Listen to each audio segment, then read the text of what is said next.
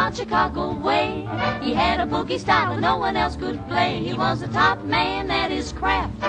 But then his number came up and he was gone with the draft. He's in the army now, a blowing reveille. He's the boogie woogie bugle boy of Company B. They made him blow a bugle for his Uncle Sam. It really brought him down because he couldn't jam. The captain seemed to understand. Because the next day the cap went out and drafted a band, and now the company jumps when he plays reveille. He's the boogie woogie bugle boy of Company B. A toot, a toot, a tooty a toot, he blows it eight to the bar. In boogie rhythm, he can't blow a note unless the bass and guitar is playing with him. He makes the company jump when he plays reveille. He's the boogie woogie bugle boy of Company B. He was boogie bugle boy of Company B. And when he plays boogie woogie bugle, he was busy as a buzz bee. And when he plays, he makes the company jump A to the bar. He's a boogie woogie bugle boy of Company B. Toot toot toot toot da da toot da da toot toot. He blows it A to the bar.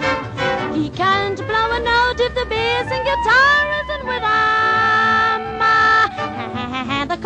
he plays reveille. He's a boogie woogie bugle boy of Company B. He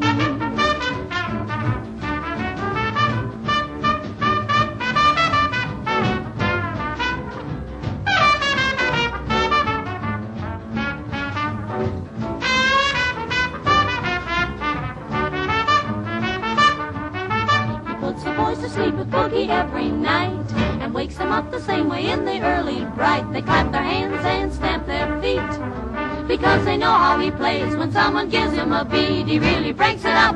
When he plays reveille, he's the boogie woogie bugle boy of Company B. Da da da da da da da da da da the company jumps when he plays reveille. He's the boogie woogie bugle boy of Company B.